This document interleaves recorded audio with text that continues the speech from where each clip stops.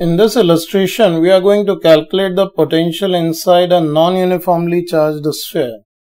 Here uh, we are given that in a region of space, a ball of radius r is placed at origin, which is non-uniformly charged at a volume charge density given as rho is cr cube, where c is a positive constant and r is the distance from center and it is asking us to calculate the potential at a point inside the ball at a distance r from the center. Here if we draw the picture of ball which is of radius r but it is uh, non-uniformly charged and in this ball inside at a distance small r say at this point p we are required to find the electric potential. So in this solution we calculate the potential at point p is due to two regions, one is V1, other is V2, where V1 is the potential due to the inner sphere at point P, which is considered to be a sphere of radius small r, of which the P is uh, on surface.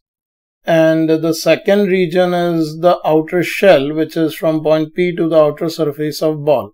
So due to these two, we calculate the potential at P and we add these two results.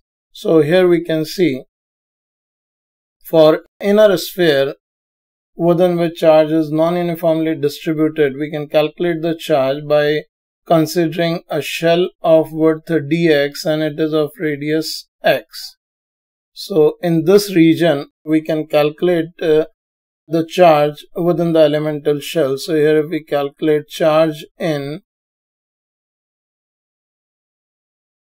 elemental shell is this can be taken as dq which is uh, rho that is cx cube multiplied by the volume of this elemental shell which is 4 pi x square dx. Now due to this elemental charge dq we calculate the potential at P. So we can write potential at P due to dq is this can be written as dv which is written as k dq by r. So if we substitute the values here, dv will be k, that is 1 by 4 pi epsilon naught, dq is 4 pi c x to power 5 divided by r. And uh, for the whole charge within the inner sphere of radius r, if we calculate the potential P, that can be taken as Vp due to the first region, this is V1, that is integration of dv that is here 4 pi you can see gets cancelled out. The c by epsilon naught r and there's integration of uh, x to power 5 dx and uh, if we integrate it from 0 to r this will give us the result. The c by epsilon naught r and it will be x to power 6 by 6 so this will be r to power 6 by 6 which is given as uh, C r to power 5 by 6 epsilon naught. That is the potential due to the inner region at point P. Now if we calculate the potential due to the outer region, for that again we can consider at a distance x outside this inner sphere a shell of width dx. This is a, a complete spherical shell we are considering which is of width dx. So again we can write the potential at P due to outer element is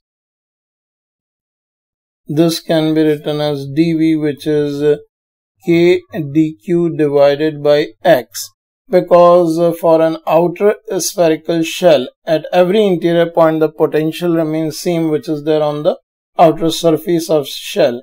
So that's why i'm using dv is k dq by x so here I can calculate Vp2 is equals to integration of dV that is integration of k here is 1 by 4 pi epsilon naught.